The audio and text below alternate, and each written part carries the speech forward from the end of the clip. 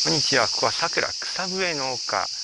今回なんですけれども、この目の前にある草笛農家鉄道に乗るというわけではありません。この草笛農家にですね、東映地下鉄の車両が生態保存されているということで、今日はそれを見に行きたいと思います。ちなみにこの草笛農家鉄道ね、乗車券は1枚320円。子供用のちっちゃい路線ですね。こんな感じで機関庫もあって立派ですね。転車台まであるわ。いや素晴らしいね。草笛の花鉄道です。でね今来るんですけどおじさんしか乗ってないんですよね。誰も乗ってない。これはね僕乗りづらいですね。非常に乗りづらいです。乗らないんですけど。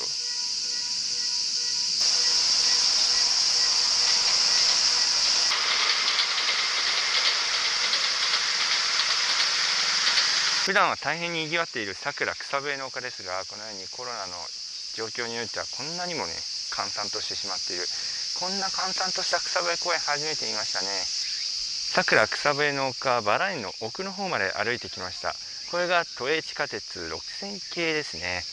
これがねあのまだ冷房がついていない車両ですね。多分中は相当暑いと思うんですけどまあ今日の涼しさだったら全然入れるかな。番号は6146となっております。この車両はですね冷房に改造することもできるような車両になっていたみたいですが特に冷房に冷房対応の改造をすることなく、えー、廃車となってしまったようですね。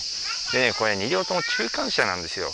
なんで中間車がこんなね桜全然関係ない土地にあるのかという話ですよね。その辺はちょっと僕も詳しくは分かりません。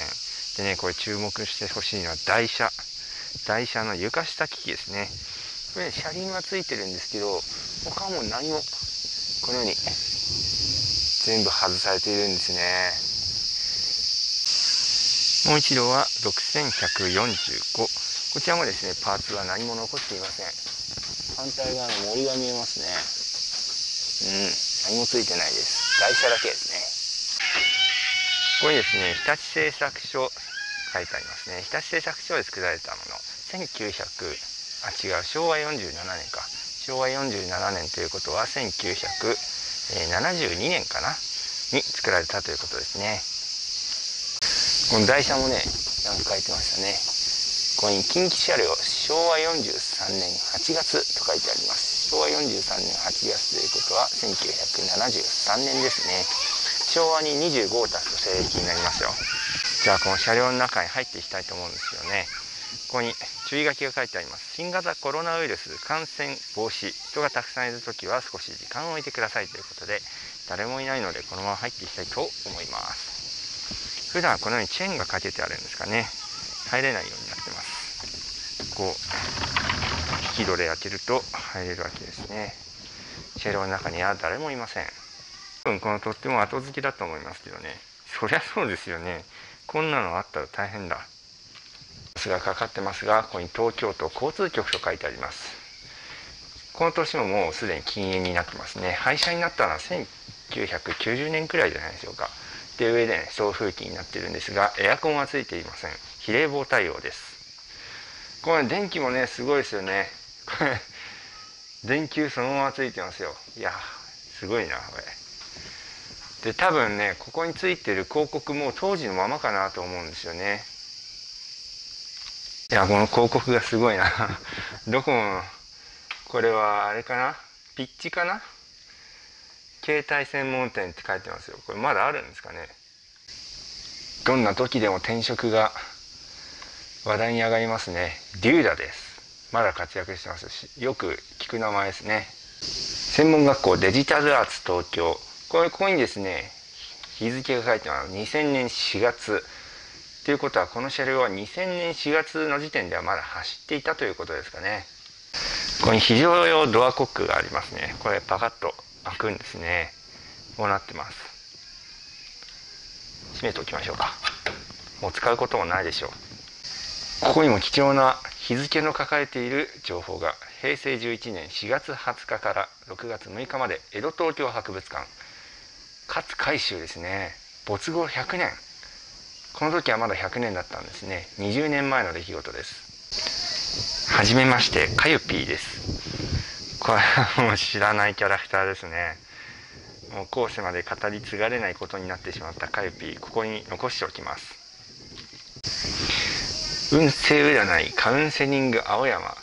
この写真怖くないですか？なんかもう藁にもすがる思いって感じですよね。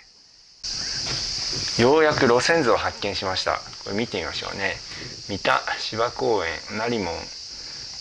内幸町日比谷大手町神保町水道橋春日白山仙石巣鴨西巣鴨新板橋板橋区役所前板橋本町元蓮沼志村坂上志村三丁目蓮根西台高島平新高島平西高島平となっておりますね。これ乗り換えとして成立してるのがすごいですが新板橋のところね埼京線って書いてるんですが板橋駅まで約 350m ちょっと遠いですね。まあ都内だったらこれくらいなら乗り換えとしてはありでしょうか。あとねこれまだ大江戸線が開業してないですね。春日で乗り換えができません。というような感じになってますね中は。昔の広告もたくさん残ってて楽しいですね。今日もこれで降りることにします。ちょっと暑くなってきました。ちょっと重いな。よいしょ。はいこれで OK ですね。そして例に漏れずここにも看板が書いてあります。都営三田線6000型車両。この車両は東京都交通局より寄贈されたものです。車両番号は6145、6146号車。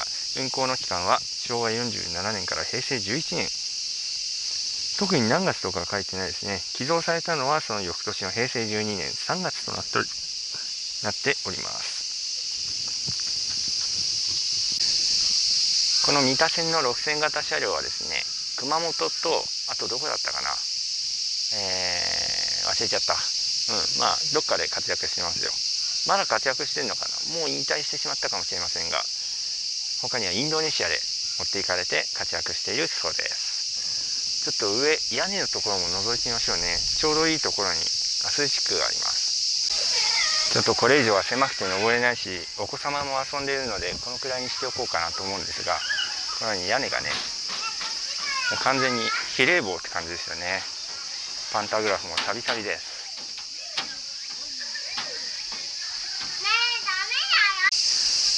ということで都営三田線6000型車両のご紹介でした。でこの草笛公園ね施設の中にもなんか鉄道資料みたいなのがあるそうなのでちょっとそっちも見ていこうかなと思います。